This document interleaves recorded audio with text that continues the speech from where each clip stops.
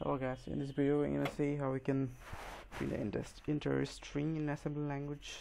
So to do that you're gonna have to write something here. Just dot uh, data. So if we want to uh, print a string or want to use any variable, so far we have used only registers DL, BL there are many registers DL, BL, CL, CH, DH so many registers. So we have been actually really used uh, variable. So which we, we will be uh, seeing in later, later later tutorials. So so for this tutorial we're gonna focus on how we can print a string in assembly language. So the pattern of declaring a variable or a string is always the same. So firstly the name of the string where we say string. String. So you have to define the size of the string. So it is very important so we use db.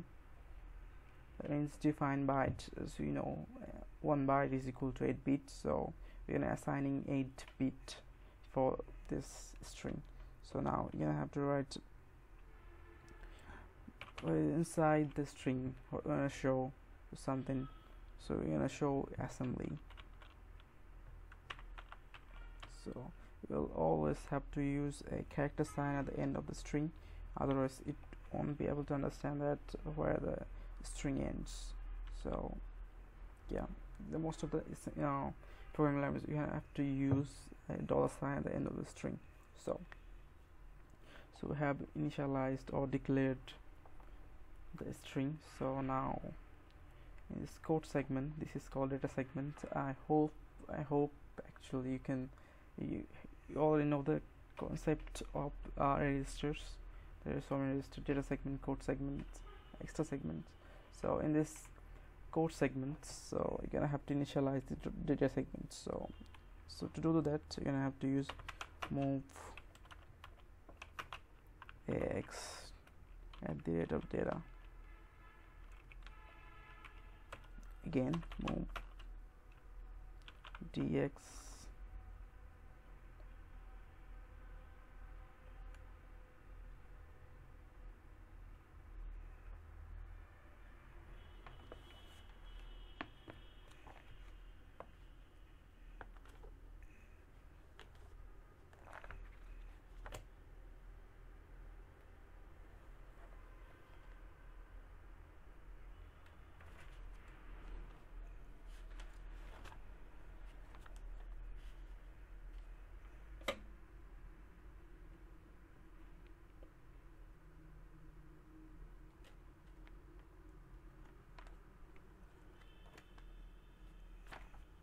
okay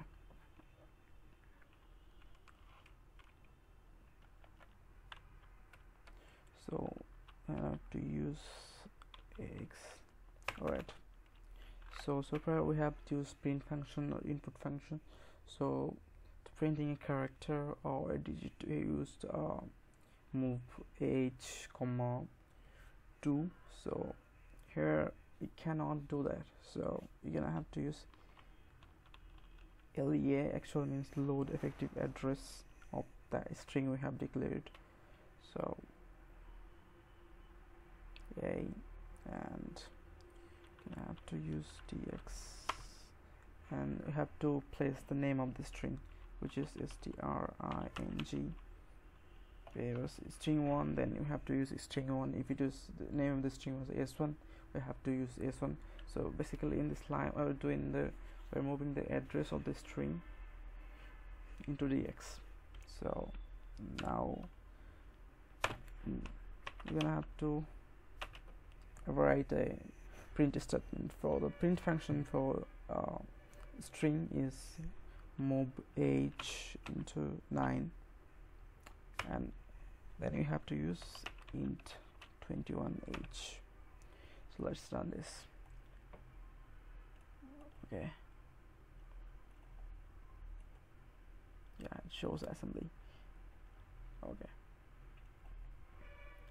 So in case if you want to just print this emo after that uh, assembly language assembly string assembly word so you're gonna have to just use the ASCII number or or else you can this is the hexadecimal table. You can either use uh, hexadecimal table or ASCII table. So I prefer ASCII, ASCII table. So the ASCII number for this uh, emo is 01 so I'm gonna use that just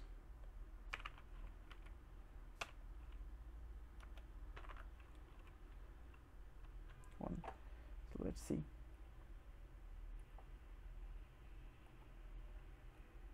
Yeah you can see that just emo is, is placed behind the assembly assembly word so that's how it's to be done. If you in case if you want to just print two string so. Sorry.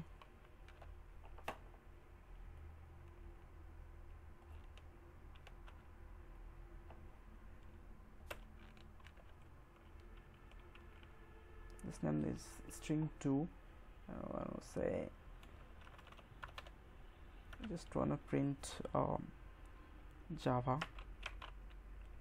So if you just print this you can see.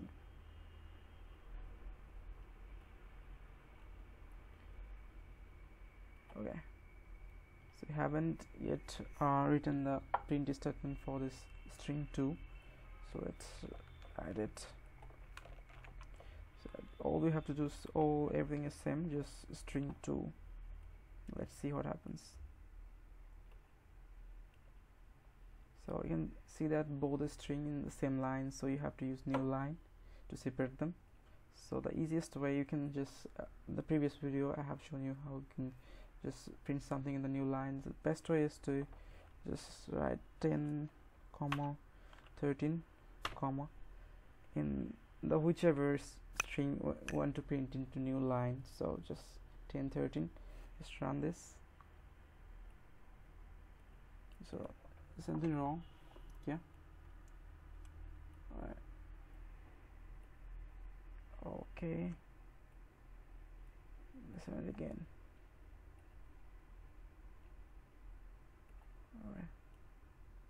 Okay.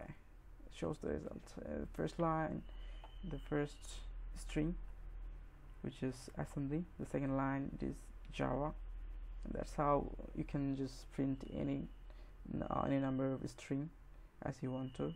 So goodbye. See you in the next video